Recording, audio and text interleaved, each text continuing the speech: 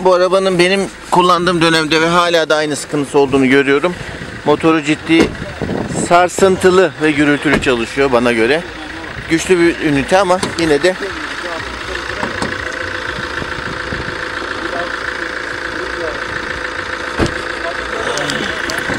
açamadım. Unutmuşum. Evet. Evet.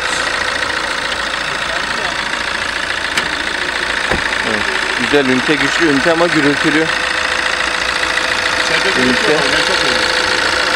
Isındıktan ama kısa mesafe, ben hep kısa mesafe kullanmak zorunda kalıyorum. Motor ısınana kadar yakıt tutum fazla olduğu gibi sarsıntı gürültü olayı daha fazla oluyordu. Muadillerine göre yarım litre kadar fazla var. Evet. Ama şey aslan besleme olayı gibi. Yakıt biraz daha fazladır ama başarılı bir ünite kesinlikle. Alacakları, çok fark ediyor. alacakları kesinlikle Şeyleri gibi. Mercekli sis, sis farları viraja duyarlı. Direksiyonu çevirince yanıyor. Evet. Replaston arkadaşı plakada özel, özel denk gelmiş. Dediğim kendisi almış herhalde. Öyle.